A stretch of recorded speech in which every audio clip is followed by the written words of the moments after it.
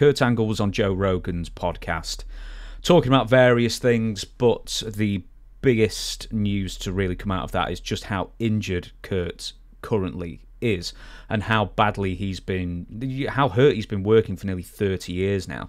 So the quote is I always had problems with my motor skills in my hands. I broke my neck four more times in the WWE. This is after he broke his neck initially in the Olymp- uh, while doing the Olympics in 96 and it got worse and worse. I mean, I have nerve damage in my neck, I lost three inches in both arms, and they atrophied because my neck was just so messed up. I've had five surgeries and none of them have really worked. I'm going to end up having to have fusion, which will be down the line. I have nerves that are being pinched and they're not being able to flow down my arms, so my fingers are freezing cold. They're always cold. I don't have any circulation. This is all the extra skin because of what the size my arms used to be. I'm barely making it right now. My arms are 15 inches now. They used to be 18 or 19 inches. I'm struggling right now. Also, in the video, he talks about attempting to do stem cell research, and his neck is so messed up, even the stem cell research hasn't helped. So, uh, just the complete physical mess that Kurt Angle is in these days. Well, he was a great worker. He was a great amateur he was a great interview, turned in some great matches. But I hate to hear that he's in the shape that he's in because he never took a night off. I mean, Kurt would go out there and he would give you 110% every night. And I've seen him take I've seen him take some spills, some bumps that were like ungodly. So, but I do remember being around Kurt, and he will admit this that he got he got addicted to opiates, opioids. And he told me one day that before he got up in the morning, he took like 10 Percocets or 10 Vicodins or something. I'm thinking 10. I mean, if I took 10, it's over for me.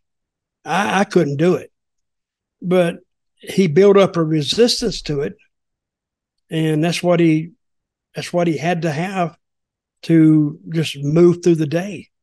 So I, I feel for him and i hope he's okay but if he's in that condition now how old is kurt? Early 50s i think something like that. Well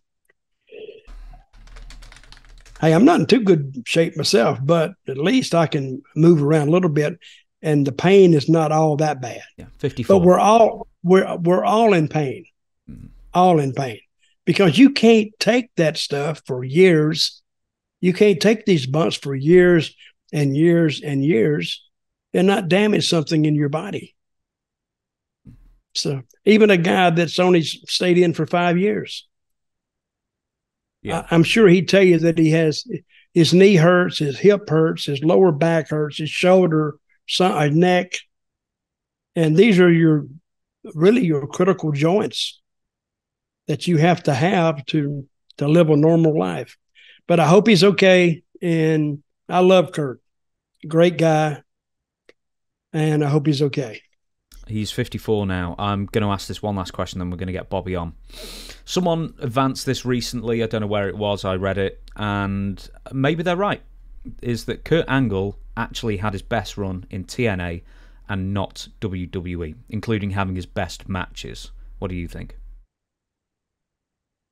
Well, I didn't follow him in WWE really. He was and when TNA got him, and I don't think I'm talking out of school when I say this, but Kurt Angle left WWE without a 90 day no compete clause. They waived it. Mm-hmm. You know what that told me? it told me that he was in such a condition that they were afraid that he would die on their watch. He told me that. So they wanted just just to get him away. They wanted to they wanted him gone.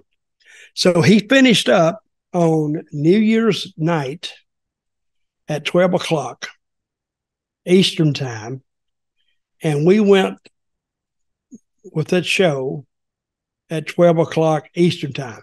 he'd only been released from WWE for like like from one year to the next. It didn't roll over to the next year.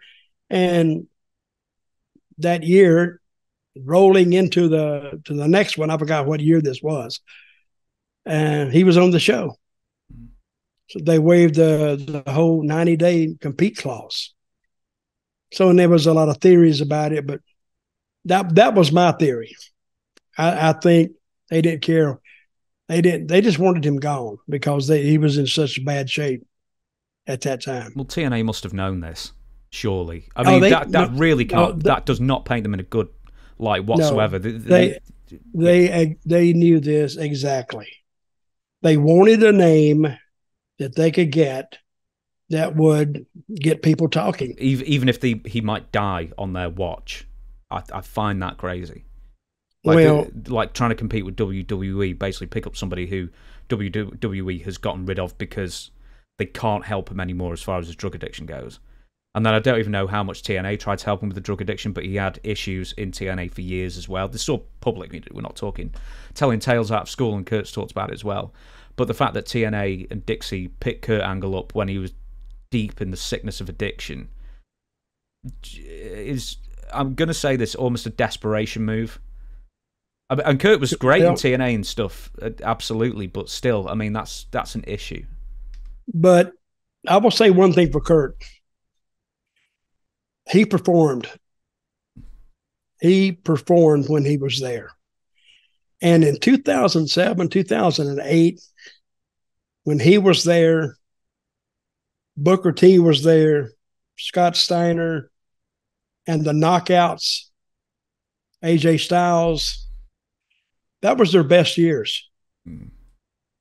And sometimes it was the, TNA to me was one of the most non functioning companies I've ever been around.